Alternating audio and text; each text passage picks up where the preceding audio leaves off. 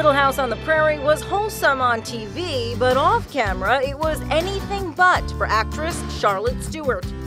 The now 75 year old is most famous for her leading role on the iconic 70s show, playing schoolteacher Miss Beadle. In her new tell all memoir called Little House in the Hollywood Hills, A Bad Girl's Guide to Becoming Miss Beadle, Mary X, and Me, she talks about her struggles once the show ended.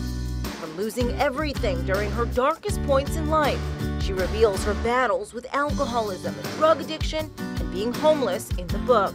She spoke about those turbulent times to KCAL. I, I got a little uh, off track after I left Little House on the Prairie. You know, there's nothing worse than uh, someone having, you know, a lot of money and a lot of free time. Stewart, who now lives in Napa, also had breast cancer.